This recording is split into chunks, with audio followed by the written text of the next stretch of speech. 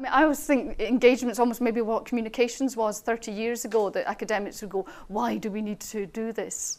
And then somebody said to me, you will leave this job and in 10 years' time we'll go, oh God, she was right. You know, it's, it's a kind of evangelical messiah role in a way.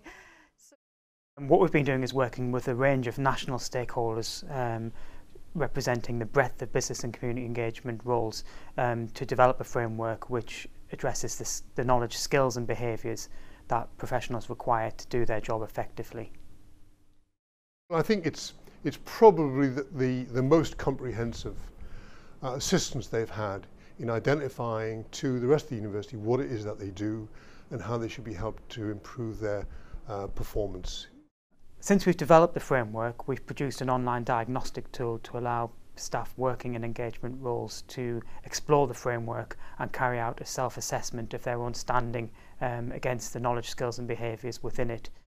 One of the points that we made in the group discussions earlier today was that, um, you know, is that either as a new starter or someone who's had, say, two years experience in, in a BCE role at a university is it's actually very hard to find out who trains you in what.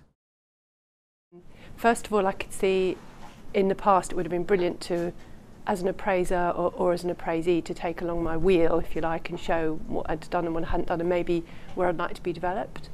Um, I think it could, in time, very quickly lead you to some good provision because I can see that people can vote on the training they've had and therefore you can start to see what works in this, this murky world of business and um, academia.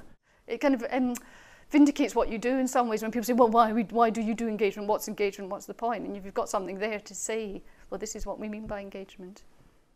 What made me come here today? Uh, I think it was a, an introduction to a reflective diagnostic tool, something that would allow me to look at skills that I mightn't have or that I might need to develop further if I want to proceed in, in my career. And certainly what I've seen on screen today is going to allow me to do that. I think I'll use it on the train on the way home. Um, it's been really great to hear some of the positive comments during the workshops that people are genuinely excited about the tool and see that they can really use it in their day-to-day -day working um, and get and get benefit from it in terms of their own career development um, and their own relationship with their with their managers. This this is the way we could persuade people that you know business community engagement is here and it's here to stay.